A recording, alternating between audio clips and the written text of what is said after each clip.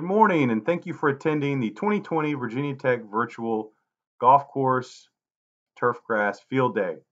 My name is Jordan Booth, and this presentation will be focused on a project investigating the impact of height of cut and nitrogen application timing on winter quality, cold tolerance, and dormancy break of Bermuda grass in the Mid-Atlantic. This study is part of a multi-site collaborative project with Virginia Tech and the University of Maryland and is funded by a cooperative grant from the Environmental Institute for Golf, the Virginia Golf Course Superintendents Association, and the Mid-Atlantic Golf Course Superintendents Association. Joe Doherty leads the efforts at the University of Maryland, while Wendell Hutchins and I lead the projects in Blacksburg and Central Virginia, respectively. First off, Wendell will be sharing his observations in the first year of the study from Blacksburg, while I report on our findings at Independence Golf Club in Midlothian, Virginia. Hello everyone, my name is Wendell Hutchins, and today I'll be discussing a project that we at Virginia Tech have been doing in collaboration with the University of Maryland. Uh, what we've looked at is the effect of mowing heights as well as late summer fertility applications on hybrid Bermuda grass uh, to determine how that affects uh, green color retention going into the winter dormancy phase as well as spring green up of the hybrid Bermuda grass. In this first plot, we have the 0.75 inch mowing height fertilized, and beside it we have the 0.75 inch plot not fertilized. So you can really see right there the differential and the retention in the green color with the 0.75 mowing height that is fertilized. Now as we move up a little bit, we'll take a look at the half inch mowing height. Now this is a little bit scalp, but it's also starting to turn a little off color. And this is a half an inch as I mentioned. This is fertilized. You can see uh, still some green cover, uh, cover uh, in there, about 50 or 60 percent. Now we move over to the non-fertilized, and really only about 20 to 25 percent green cover remaining. Uh, so you can really tell stark contrast in these two plots. Now as we move up to the one inch mowing height, you can see how healthy this turf looks. This has been fertilized, this plot right here. Um, very dark green color, dense, uniform. And if you take a look to the left, see the off-colorness uh, of the plot. Um, it's a little bit lighter, but it's still retaining quite a bit of that green color, even uh, unfertilized. So this higher mowing height uh, is making a big difference in the green retention going into fall and winter dormancy. This is the first of two locations of this trial at the Virginia Tech Research Short Course at Independence Golf Club in Midlothian, Virginia. This first location represents full morning sun. Our research objectives include evaluating the impact of height of cut as well as the impact of fall nitrogen applications on winter quality, cold tolerance, and spring green up of hybrid Bermuda grass.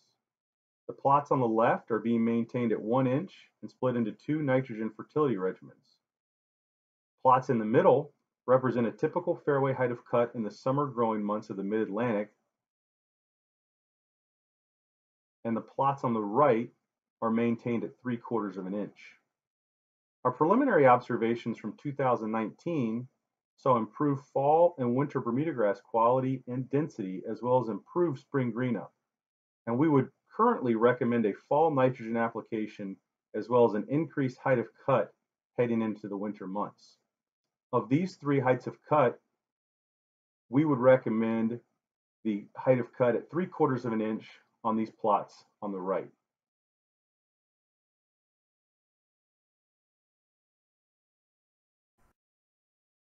This second location at Independence Golf Club represents a site with morning shade. The trees in the background of this video provide ample morning shade, and Bermuda grass often struggles in these environments, so height of cut and fall fertility applications may have an increased impact. This video was taken in early October and the plots on the left clearly illustrate improved Bermuda grass color and density from fall nitrogen applications. Ultimately, we are going to be taking plugs from all of these plots and subjecting them to freezer treatments to evaluate the impact of height of cut and fall nitrogen applications on cold tolerance of hybrid Bermuda grass in the lab Finally, Wendell has some interesting observations from last summer regarding weed control. Uh, one of the cool things we noticed this spring, though, coming out of dormancy, was that the weed pressure was uh, reduced greatly, uh, particularly with the winter annuals, with the higher mowing heights going into wintertime. Uh, so these two plots I'm showing you now were mowed at one inch going into dormancy. And you see there are a couple weeds in these plots, but for the most part, very clean. Now this is June 29th, and we're still seeing differences. So very clean plots. Now when we move over to these two plots. These were mowed at a half an inch going into winter dormancy, and you see the weed pressure is up tremendously. Uh, much greater uh, incidence and coverage with the weeds we're seeing. Still some winter annuals sticking around.